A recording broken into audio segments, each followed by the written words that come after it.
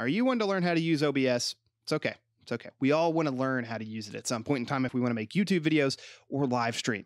And I understand there's 30 to 40 minute videos out there that just do nothing but give you word vomit and make you question do I really want to learn how to use OBS because it seems like a very advanced program?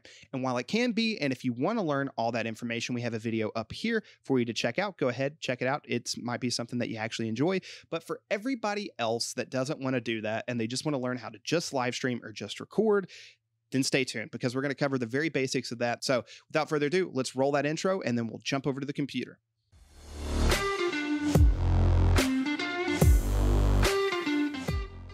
Before we go ahead and get started, I want to go ahead and preface this video with letting you know that there are chapters down below. These chapters might be useful for you if you plan on just streaming or plan on just recording. That way you can save some time when trying to get this set up on the fly. So go ahead and check those timestamps out and jump to wherever you think might be useful for you. So let's go ahead and jump into the main part of the video. So we're going to get started first with the streaming settings. And I want to say, if you've never used OBS before, the built-in tool of the auto configuration wizard is going to be your best friend. And the reason it's going to be your best friend is because you don't have to have much knowledge of what you're doing or the hardware that you're using or your internet speed it's going to figure that out for you for streaming. And it'll do the same for recording. And I'll talk about that in just a second. So to get started, go to the very top of the menu and click Tools, and then go down and click Auto Configuration Wizard. Should be the first option in that list.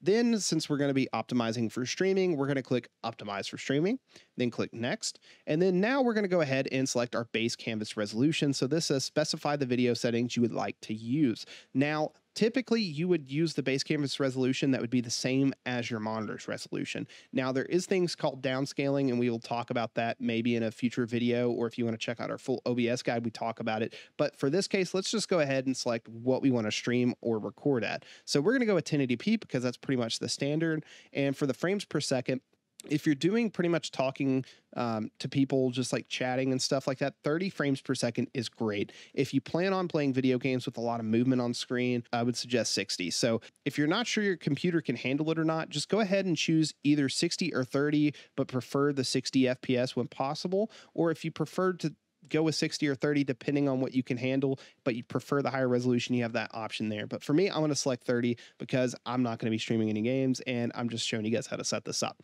So now let's click next and we get to link our stream service. So currently we have Twitch selected and we can also select YouTube. We're going to go ahead and select YouTube and then go down to my browser.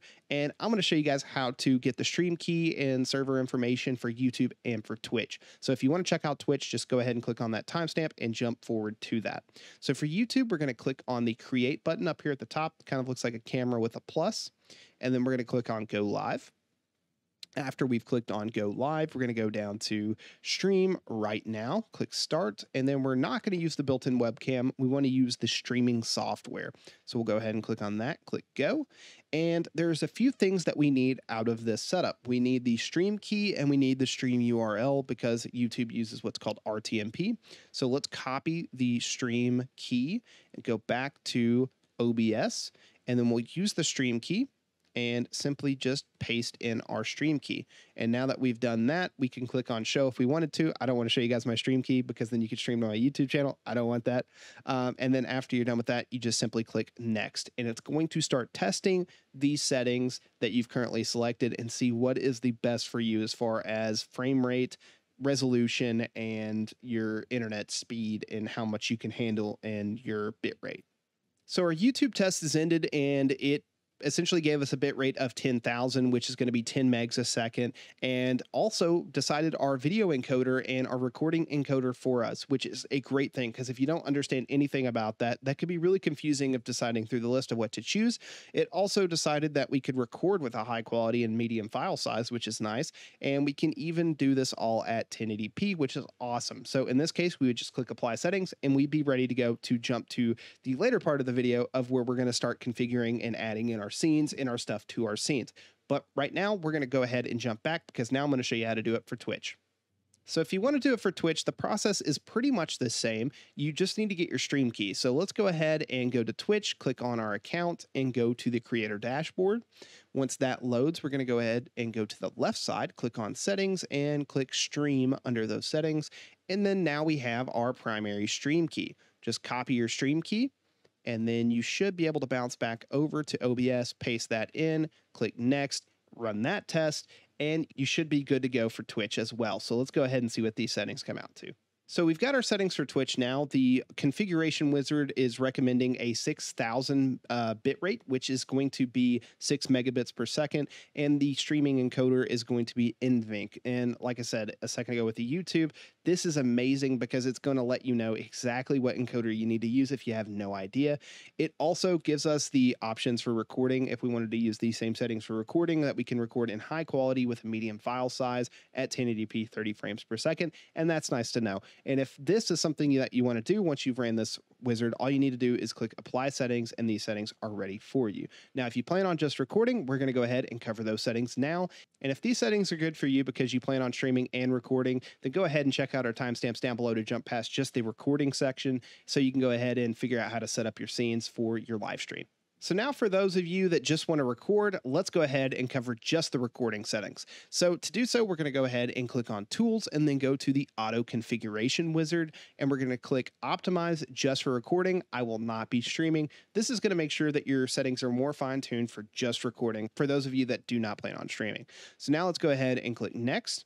And this works kind of the same way as the live stream. Go ahead and select the base canvas resolution. That's going to be what your monitor is or what you plan on recording as if you don't want to mess with the downscale filter. So for those of you that are just getting started with OBS, set this to what you want to record at. So I'm going to select 1920 by 1080 because that's what I would prefer.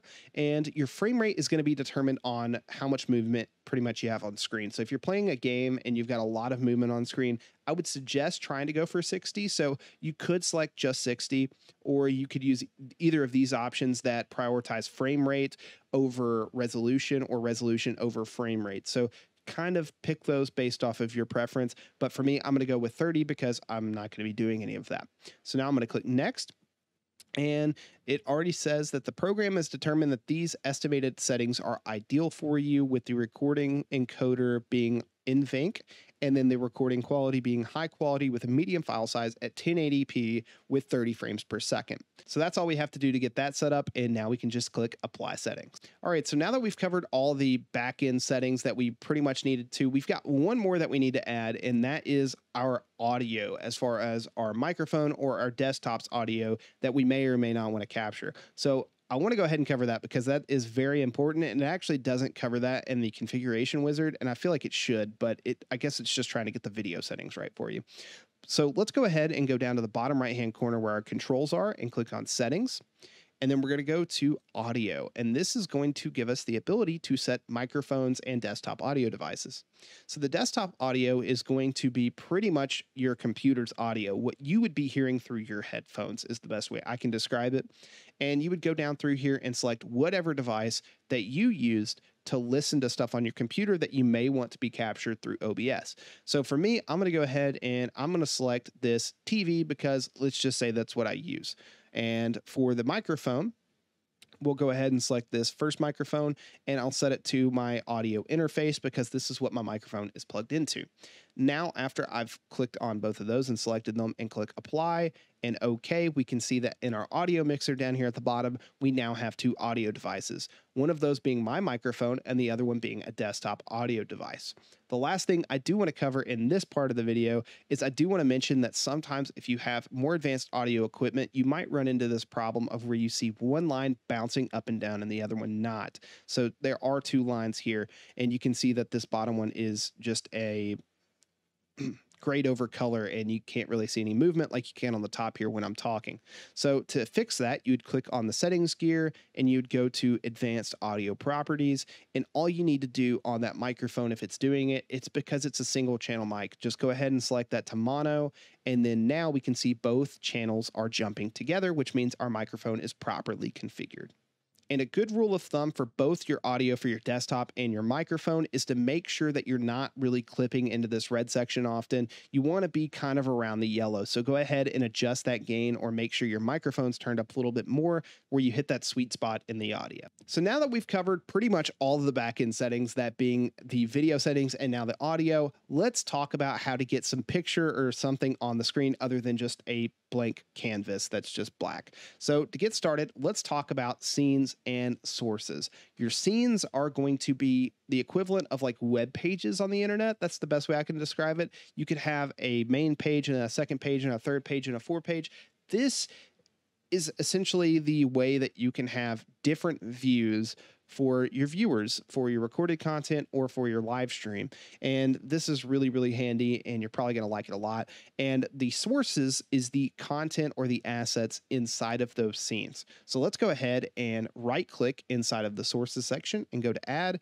And let's go ahead and add in a source. Now, we're not going to cover every single source in this video because this video would be a lot longer than what we plan on it or want it to be, and it might not be as useful for some of you that just want to go ahead and get started with this. So we're not going to cover everything, but if you want to see a video on that, check out our video up above.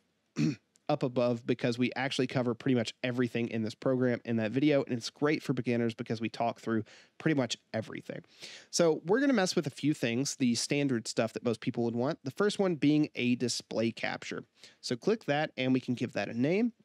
I'm going to give mine a name of right monitor because that's what I want to try to capture with it. And we'll make source visible and then click OK. And currently it's set on my main monitor right here, the middle monitor, and you can see that it's kind of doing this cascading thing of where it's just like this infinite loop. So let's go ahead and change that. And I'm going to select my right monitor. And we can now see in our preview that my right monitor is now showing up in the preview. So this is great. So this scene right here is just the right monitor. If we also had a webcam, we could go to add and we could go down to video capture device and click OK. And then we can actually select our webcam as well. So I've got my webcam selected, and you're probably seeing an Inception version of me right now. And that's okay, I guess. But I'm going to go ahead and make a new scene so you don't have to look at me the whole time. And we'll go ahead and add just a display capture in. And here's the really cool part about this. Since we already have a display capture, we can click add existing and add our right monitor in and we've got our right monitor added in and we can bounce back and forth between scene one which has my camera attached and scene two which does not have my camera attached and that is pretty much how scenes work they are very easy to use, and adding sources to them can be very basic. We can add things like video with a media source and even graphics with the image. And if you're playing video games, and game capture is also a great source because it's going to make sure that your hardware for your computer is more adequately being used to capture that gameplay. So, all right, guys, that's going to be all for this video. If you enjoyed, you know what to do. Go ahead, destroy that like button, get subscribed, and turn on notifications for future videos from How To Tech. This has been Chad from How To Tech, helping you take your tech to the next level, and I will see you guys in the next video. Peace. If you want to check out some of our other videos, you can do so right over there. And if you want to be like these lovely people down below, then think about becoming a YouTube member today. Members get early access to videos, discounts on merch, custom emotes, badges, community only posts, and much, much more. Big thanks to all of our community members for helping further support How to Tech.